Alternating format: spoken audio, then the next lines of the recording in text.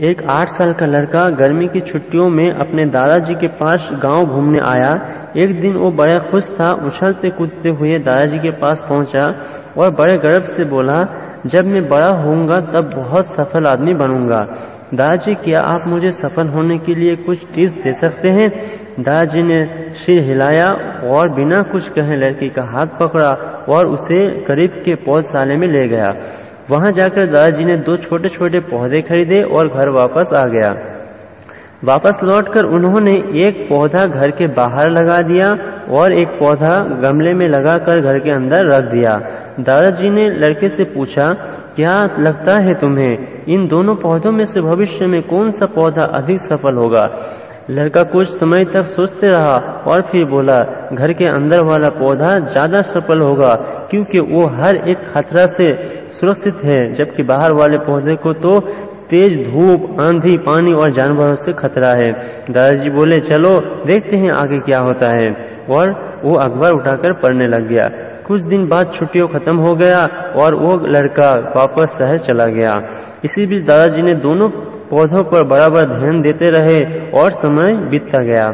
तीन चार साल बाद एक बार फिर वो अपने पेरेंट्स के साथ गाँव घूमने आया। और अपने दादाजी को देखते ही बोला, दादाजी, पिछले बार मैं आपसे सक्सेस होने के लिए कुछ टिप्स मांगे थे, पर आपने तो कुछ बताया ही नहीं था।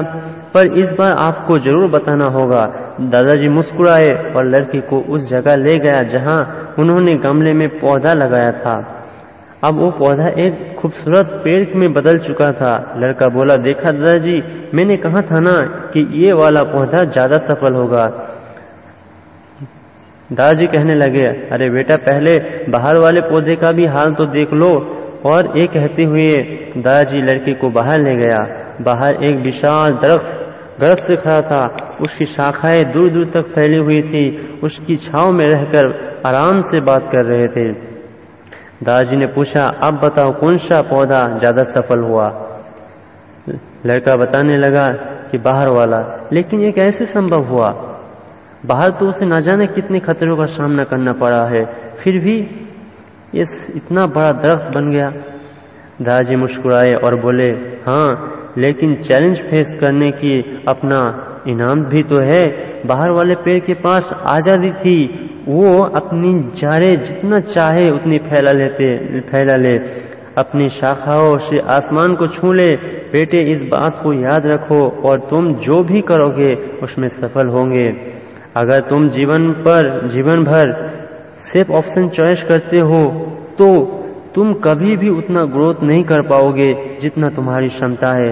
लेकिन अगर तुम तमाम खतरों के बावजूद इस दुनिया का सामना करने के लिए तैयार रहते हो तो तुम्हारे लिए कोई भी लक्ष्य हासिल करना असंभव नहीं है। लड़का ने लंबी सांस ली और उस विशाल पक्ष की तरफ़, उस विशाल दस्त की तरफ़ देखने लगा। वो दादा की बात समझ चुका था आज उसे सफलता का एक बड़ा, बहुत बड़ा सबक मिल चुका था। दोस्तों, ऊपर वाले ने, अल्लाह ताला ने, भगवान ने हमें एक पावरफुल लाइफ जीने के लिए बनाया है। बट दुर्भाग्य की विषय है, अधिकतर लोग डर डर के जीते हैं और कभी भी अपने फुल पावर को रिलाइज नहीं कर पाते हैं।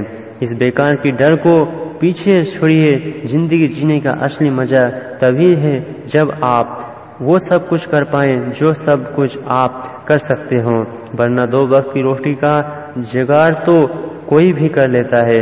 इसलिए हर समय पहले इट सेफ़ की चक्कर में ना पड़े। हमेशा जोखिम उठाए रिक्स लीजिए और उस विशाल दरख्त की तरह अपनी लाइफ को लाज बनाए, अपने हौसला को बुलंद करे और अपनी कामयाबी को हासिल करिए उम्मीद करूँगा दोस्तों, ये वीडियो आपको अच्छा लगा होगा पसंद आया होगा। इस वीडियो को लाइक करें और इसको अपने दोस्तों के साथ शेयर करें। अगर चैनल को सब्सक्राइब नहीं किए हैं, रेड कलर की सब्सक्राइब बटन पर क्लिक कर सब्सक्राइब कर लिए थैंक यू।